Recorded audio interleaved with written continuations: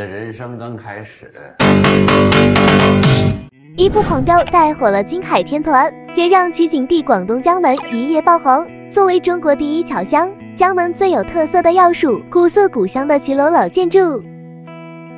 从鱼档到强盛小灵通，这里见证了强哥的发迹史。全剧最高潮之一，理想高启盛坠楼的地方，在梅家大院，也曾是让子弹飞的取景地。还有安心和孟玉约会的地点，过了，想必也会成为情侣不可错过的打卡地。看完《狂飙》，你是不是也想来江门逛骑楼、吃猪脚面了呢？《满江红》票房已突破四十二亿，助推拍摄地太原古县城成为网红景点。这回谁一条船上了。电影在景区东北角的一个无尽院落取景，沈腾的题词、用饭的伙房等场景仍然保持着原貌。游客还可以穿上盔甲，朗诵一段《满江红》，瞬间过一把穿越瘾。《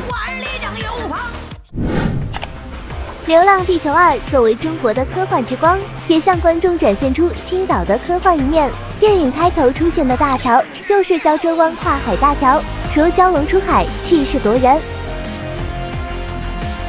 广阔的训练基地场景，则是在柳汀机场搭建的。更不用提，影片的主要特效拍摄部分都是在青岛完成的。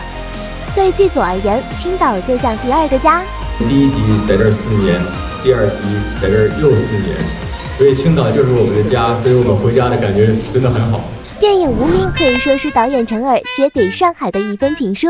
为了追求视听效果，陈耳要求尽可能实景拍摄，四重奏的酒吧和先生在窗边等待的场景。取景地是百年老宅荣宅，美术组还专门在江阴街改造出一条民国风情街，一时间成为打卡圣地。因为这边是那个民国风嘛，所以今天正好休息，我们想过来拍点照，做个留念，还带了两套衣服。还有蒸排骨、醉虾、拿破仑等上海美食也随之走红。